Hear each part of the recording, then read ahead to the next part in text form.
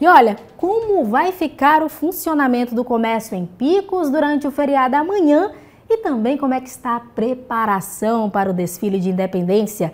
Quem responde essas pra gente é o nosso repórter Danilo Eliezer, que está ao vivo aqui com a gente dentro do Piauí no ar. Toda uma movimentação por aí em Picos, né? Isso mesmo, Danilo? Quais os detalhes? É com você.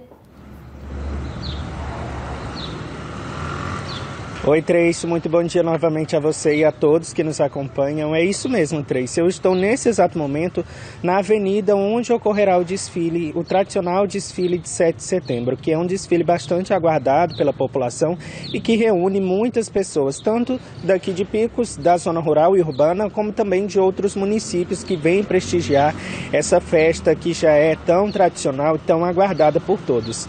É, a programação do evento já foi divulgada pela Prefeitura Municipal através da Secretaria de Cultura do município e vai contar com 42 pelotões. Esse desfile vai ter início na Avenida Severo Eulálio e vai percorrer também a Avenida Nossa Senhora de Fátima. Nesse exato momento, onde eu estou, é na Avenida Nossa Senhora de Fátima, onde será montado toda uma estrutura, já está sendo montada, na verdade, como vocês podem ver atrás de mim, toda essa estrutura será usada para o desfile. Aqui atrás de mim está o palanque, na frente, ao meu lado também, nós temos as arquibancadas onde o público poderá ficar para poder prestigiar esse evento e no decorrer de toda a avenida também terá espaço para que essa população possa se posicionar e possa acompanhar esses 42 pelotões. Segundo informações da Secretaria de Cultura do município, 12 pelotões serão da área da educação. Portanto, inúmeras escolas vão participar, cada um desses 12 pelotões terão subdivisões para que inúmeras escolas da rede pública e também privada possam participar desse desfile. A inserção das escolas privadas é uma novidade que foi implementada no ano passado, teve grande repercussão, teve muito sucesso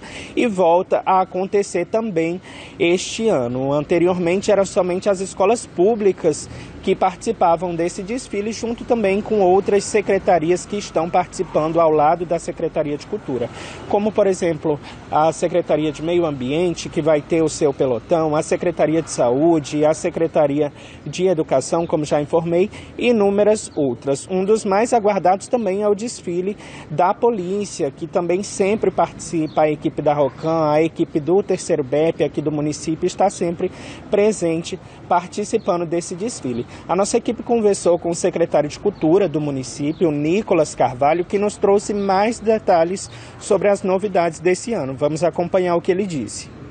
A preparação desse ano não é algo tão simples. Né? Assim como no ano passado, foi uma tarefa muito difícil para a gente. O 7 de setembro aqui na região de Picos é extraordinariamente gigante.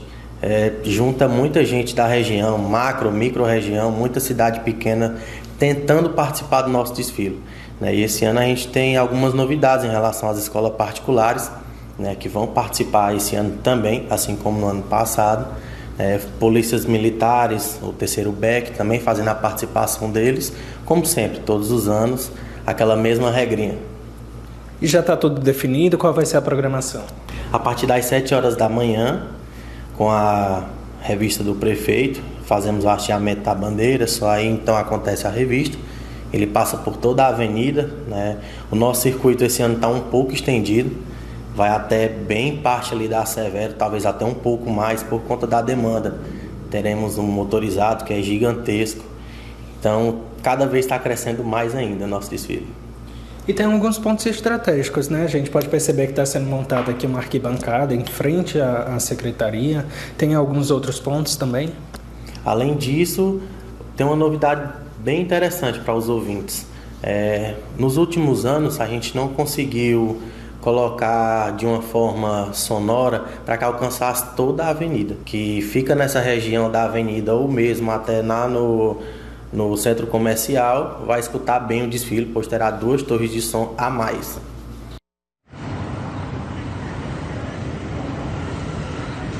Olha, Tracy, e um outro ponto importante da gente destacar é que a gente já está no período do BR Obral, a gente sabe que é aquele calorzão, o sol muito intenso, em plenas 7 horas da manhã. Como você pode perceber, o sol já está bem forte aqui no município de Picos nesse horário. Então, por conta disso, a Secretaria de Cultura também vai distribuir alguns pontos de água durante todo esse percurso onde ocorrerá o desfile. Ainda não foram divulgados onde ficarão posicionados esses pontos de águas, mas seguindo a mesma logística do ano passado, se for seguida, ficará próximo às arquibancadas, que é onde concentra a maior, grande, a maior parte do público. Uma grande parte da população se concentra nesses locais.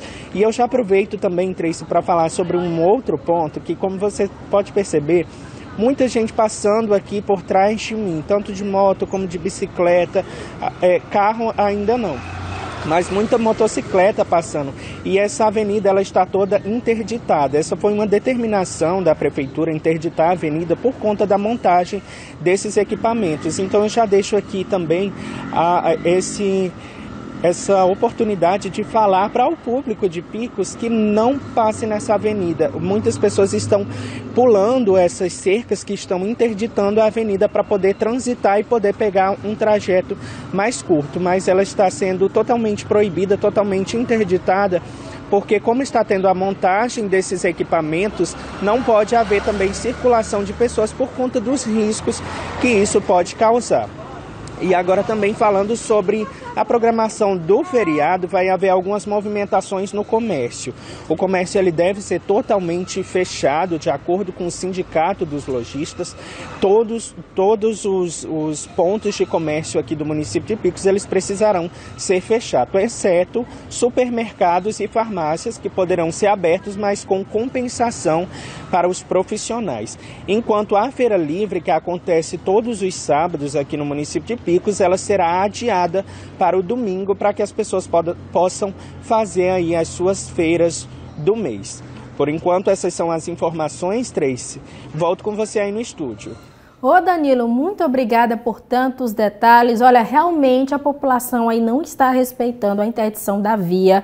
Ao longo da transmissão pude observar várias pessoas, inclusive veículos aí passando, utilizando essa via, vai precisar de uma fiscalização maior para evitar qualquer tipo né, de dano, já que esse material todo está sendo montado. Acompanha daí essa programação, Danilo. Amanhã tem o nosso Fala Piauí. Eu tenho certeza que você vai entrar ao vivo aí mostrando como é que foi tudo isso. Muito obrigada pelas informações. No mais, um excelente dia, um excelente feriado a você. Tá aí a prestação de serviço, a informação aqui dentro do nosso Piauí no ar.